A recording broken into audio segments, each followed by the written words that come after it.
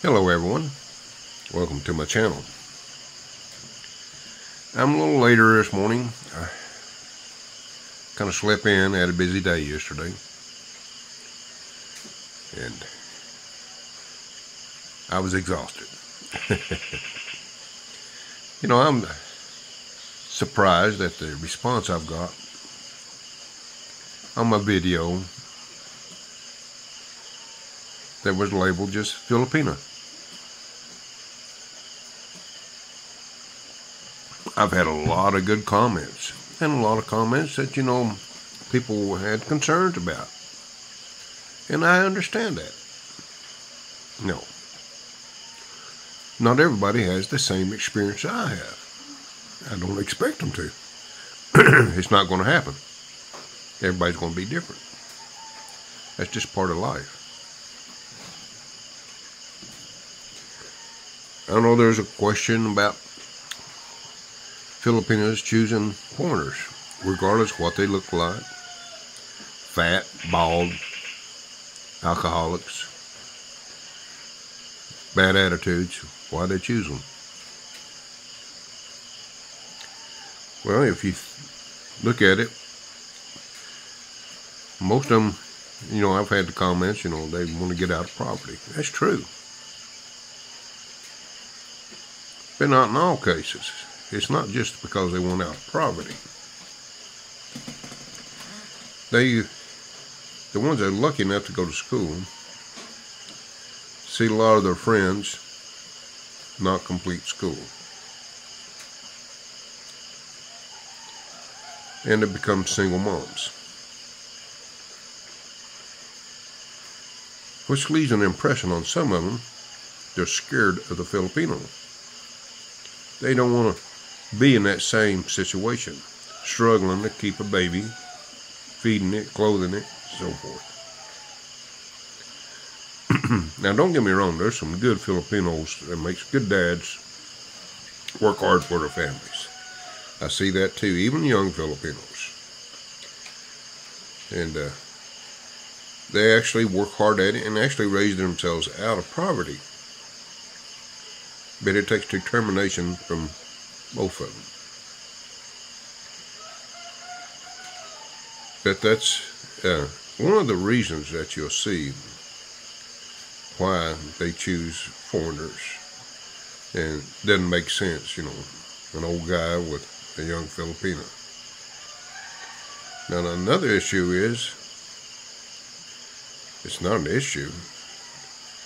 Filipinos, Filipinos are um, I'm trying to think of the right terminology.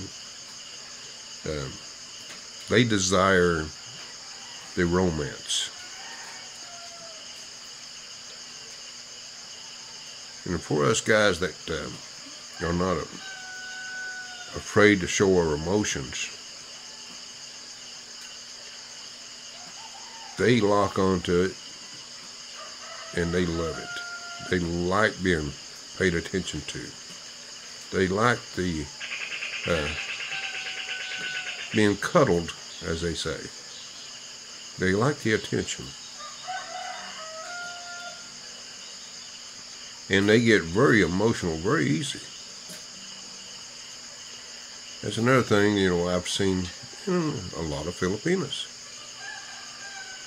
And even my wife, she'd get emotional. Know, there's there's a lot of cases out there, you know, that it doesn't work out the same. You know, yeah, some some guys end up building houses and so forth, and then getting dumped or pushed out in different cases. I've I've seen that also. It happens. And it makes a negative attitude towards a lot of Filipinos from as foreigners.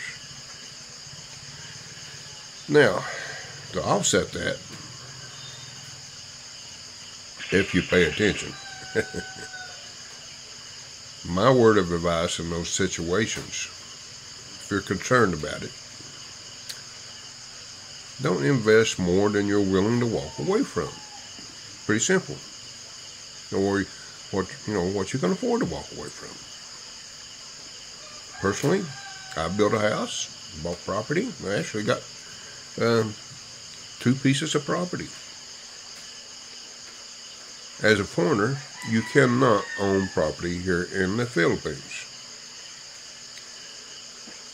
So, where's that leave me? Well, if Grace was to get rid of me today and leave me with nothing. Am I afraid that will happen? No. After 14 years? No.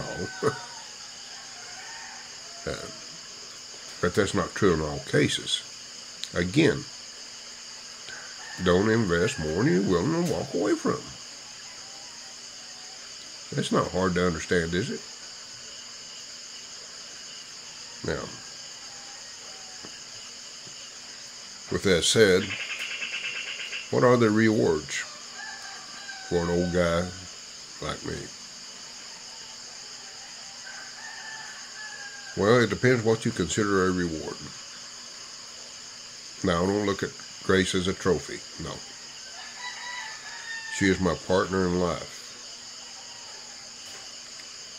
Now, some foreigners view it differently. They, they think because they're an old guy and they got a young little female, they, they get this chip on their block. And I, you know, I feel kind of sorry for them because they're missing out on a lot. Now, I live life good.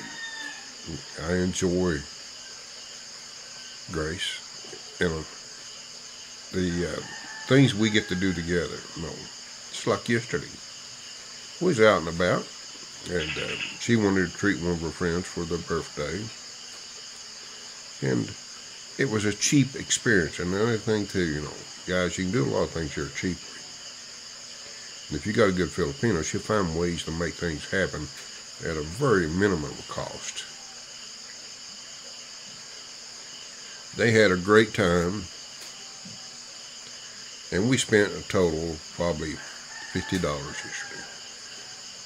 And there was a group, counting the kids, of nine people. We ate well. We enjoyed things. We enjoyed the beauty the, the island has to offer. I live on Negro Road if you want, if you're curious. For fifty dollars. That includes gasoline. Yeah. Is that being taken advantage of? I don't see it that way. No. I had a great day out. You know, with the lives and laughs, you know, laughs. uh, you have to look over me early in the mornings, you know, I get tongue tied and so forth. But back to the subject there, you know that's a, you know, that's a, a lot of reasons why they choose expats, you know. It's because they, they're still embedded in them. They, they like the romance. They like getting flowers. They like the being cuddled on and the attention. And they they do develop a very strong bond. Now, another thing that would uh, be a negative for me is jealousy. I made it a, a thing before Grace and I even met. And when we was doing our chatting online, long distance relationship, you might say, that jealousy was a thing that I just I couldn't tolerate. Not that I'd be out here chasing women.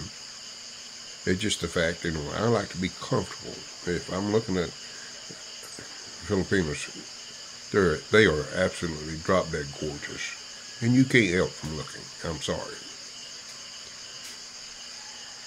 And I didn't want to be miserable just because I look. And I made that plain and simple. Well, as you can see, I, I live very good and I'm happy. And far as taking care of the family, now what's wrong with that? They live in absolute poverty. Now, I don't do a lot for them. I just make sure they don't go hungry. Now, I did do something that I felt like it was necessary. I did make sure that she had three sisters, made sure they got to graduate high school. I supported them through school. And once they got through school, that was the end of it. They're on their own. One of them is actually living in the U.S. in Missouri, working and doing quite well. Her baby sister is living in Cebu, working and doing quite well. And she does have one sister that's not made the, the jump to, to do well, but but she's she's still on her own. Um, she's doing well in her, in my view. No, she's not a single mom. That's the big thing. But that was my goal. now they are very family oriented. You know, the Philippines, they don't have a uh, a good retirement resource, even though they do have Social Security.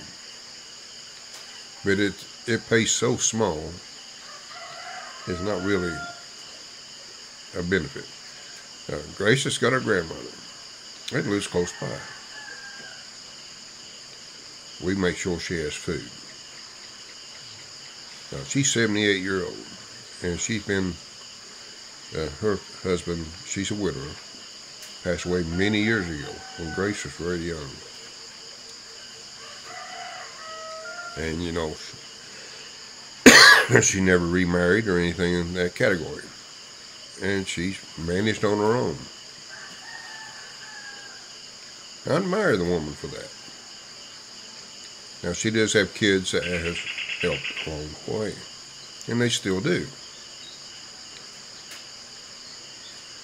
And we do our small thing, you know, I make sure she has water and electricity. It's something she's never had in her lifetime. I actually uh, did it for her.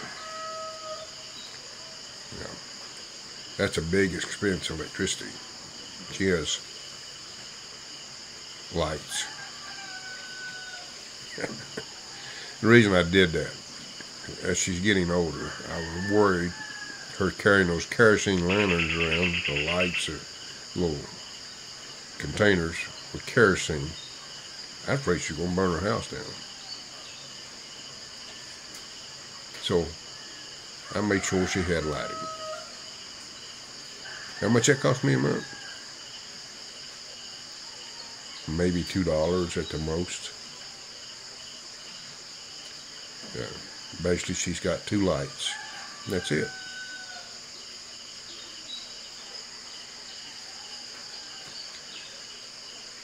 Her parents, I've actually, uh, they live here I have um, downstairs, underneath our deck here, I have built them a room, uh, which they live in. They've got their own kitchen and their own water. Of course, you know, they use our electricity, which is, again, a minimum.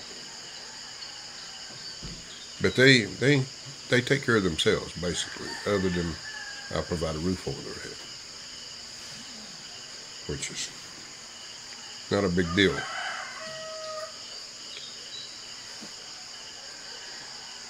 You know, I enjoy living here so much and I get so much in return. I couldn't do this in no form or fashion if I still lived in the States. Because the expense of living alone was overwhelming. Even then, uh, before I came here, I was you know, I'd go to the grocery store and I had to be very, very careful with what I purchased because I didn't have enough money in my pocket to pay for it. And I was getting just enough money, just enough to keep from getting any what you government assistance.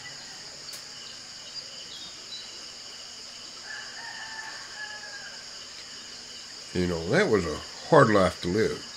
I come here, of course, it's changed a lot since I've come here. It's, everything has increased over time, which is normal because it's been 14 years. Well, actually, almost 15 years if, since I lived alone.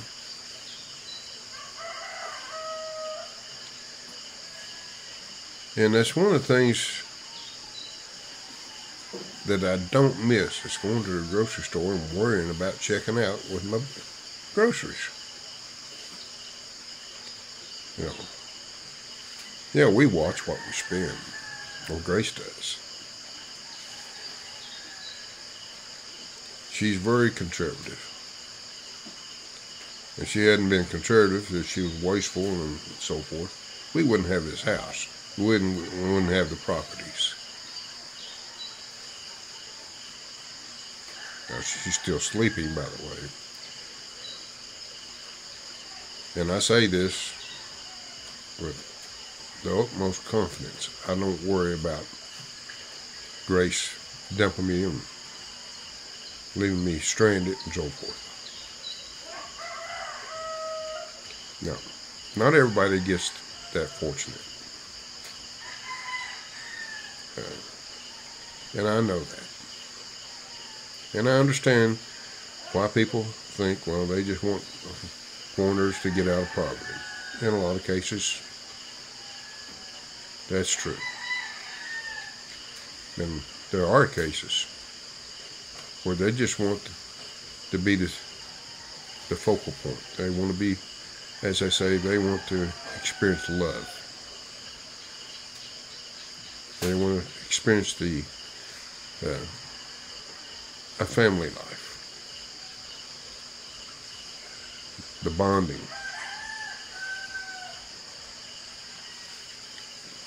And they don't want to have the fear of being left as a single mom.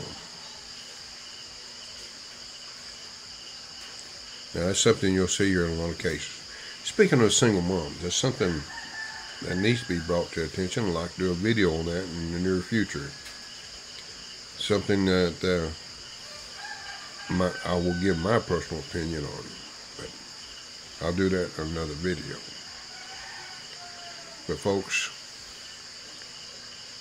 by all means, enjoy your life and have a positive attitude. Um, research, research, research. Can't say that enough. Watch all the videos that you possibly can. Because my opinion alone is not enough.